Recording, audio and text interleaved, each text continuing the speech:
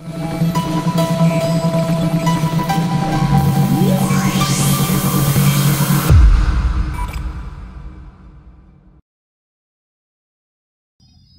दोस्तों, मैं विकास जायसवाल, आप सभी का एक बार मैं फिर से स्वागत करता हूँ।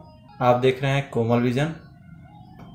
दोस्तों, आज हम लोग सीखेंगे किसी भी टेक्स्ट को, जो भी हम टेक्स्ट लिखते हैं, जो भी टाइप करते हैं तो उसमें आउटलाइन कैसे लगाते हैं, उसमें शैडो कैसे देते हैं और उसमें ब्लैंड टूल का इस्तेमाल करके उसको थ्री डी इफ़ेक्ट कैसे दे सकते हैं। तो आज हम लोग दो तीन टिप सीखेंगे। तो आप लोग वीडियो को पूरा देखिएगा। आप लोगों को पसंद आएगा। जो लोग नहीं जानते हैं, जो लोग नए हैं, उन लोगों के लिए तो बहुत ही फ़ायदेमंद होने वाला है। क्योंकि अक्सर ऐसे प्रॉब्लम आते रहते हैं। अब हम कुछ टाइप कर लेते हैं। जैसे मान लीजिए मेरा भारत महान। हम इसको हिंदी में कर लेते हैं, जैसे ये हो गया। अब हमें इस पर आउटलाइन देनी है। तो आउटलाइन देने के लिए हम यहाँ पे कलर बार पे जाएँगे और यहाँ से राइट क्लिक करेंगे तो आउटलाइन आ जाएगा और लेफ़्ट क्लिक करेंगे तो इसमें कलर फिल होगा। इस तरह से कलर फिल होगा और जब राइट क्लिक करेंगे तो इसमें आउटलाइन आएगा। तो आप लोग देख सकते हैं कि इसमें इस तरह से लाइन लाइन सा दिख रहा है और उतना परफेक्ट नहीं लग रहा है। तो हम इसको ठीक करने के लिए, यहाँ देखिए वाइट हेयर लाइन यानी आउटलाइन कलर हो गया। तो हम इस पर डबल क्लिक करेंगे। अब हमें देखिए थोड़ा सा आउटलाइन को हमको मोटा करना है। तो मोटा करने के लिए हम लोग यहाँ से हेयर लाइन पर क्लिक करेंगे। इसका थोड़ा सा हम लोग थिकनेस बड़ा कर देते हैं। मोटा हो जाएगा। इसको हम इतना रखते हैं अच्छा रहेगा। और इस तरह से आप देख रहे हैं तो एक कॉर्नर कॉर्नर जैसे है, उसी तरह से परफेक्ट रहेगा। अगर आप नीचे वाले पे क्लिक करते हैं तो एक कॉर्नर राउंड में हो जाएगा। तो इस तरह से आप जैसा लिखना चाहते हैं, उस तरह से आप कर सकते हैं। हम फ़िलहाल इसको ऐसे ही रहने देते हैं। अब हम यहाँ पे बिहाइंड फिल इस पर टिक कर लेंगे और स्केल विथ इमेज अब ओके कर देते हैं। आप लोग देख सकते हैं, हमारा बिल्कुल परफेक्ट आ चुका है। हम थोड़ा सा आउटलाइन और बढ़ा देंगे। हम इसको और थोड़ा सा मोटा कर दे रहे हैं, ताकि अच्छा लगे। कुछ ज़्यादा हो गया। थोड़ा सा हम यहाँ से पतला कर लेंगे। ये हमारा देख लीजिए।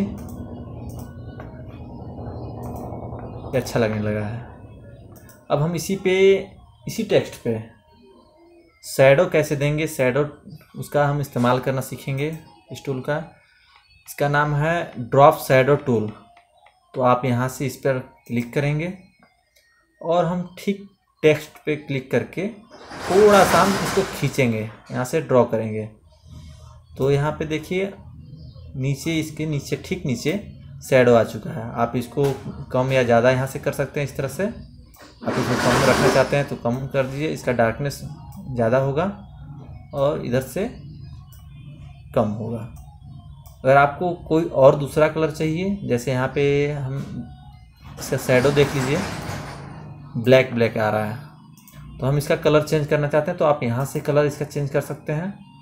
जैसे मेरा शैडो का कलर येलो दिखना चाहिए तो ये येलो हो गया। पिंक होना चाहिए।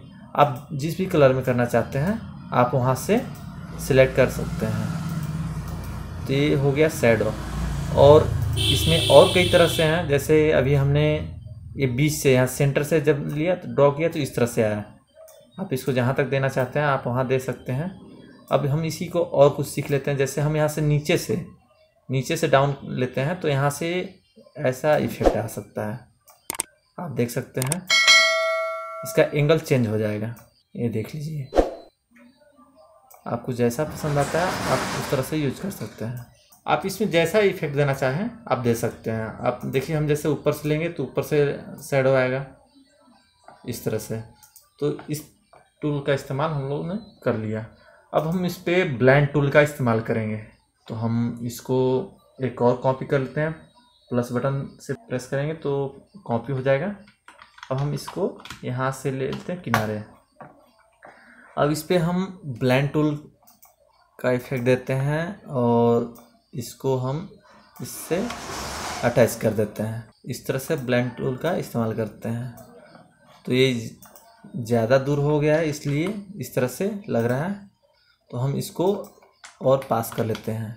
अब हमें इसमें आउटलाइन में जो किनारे किनारे है, उसका कलर हमको चेंज करना है। तो हम इस पर नीचे वाले पे क्लिक करेंगे। तो नीचे वाले पे हम राइट क्लिक करेंगे। जैसे हमको येलो देना है तो येलो पे कर लिए। या पिंक देना है, पिंक कर लिए, ब्लू देना है, ब्लू कर लिए, इस तरह से आप राइट क्लिक करके आप दे सकते हैं। अब हमें थोड़ा सा और इसमें इफ़ेक्ट डालना है तो हम ऊपर वाले पे क्लिक करेंगे, जो ऊपर का मेरा भारत महान फॉन्ट है, उस पर हम क्लिक करेंगे।